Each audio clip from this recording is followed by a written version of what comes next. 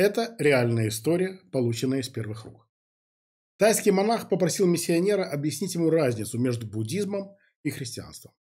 «Вот смотри», – сказал тот, зачерпнув мутной воды из сточной канавы. «Это чаша – твоя карма. В ней смешаны твои хорошие и плохие дела.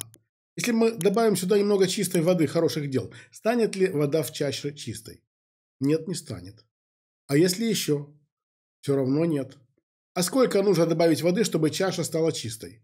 Сколько не добавляй, совсем чистой чаша не будет. Так вот, Иисус забирает твою грязную чашу, а взамен дает свою чистую.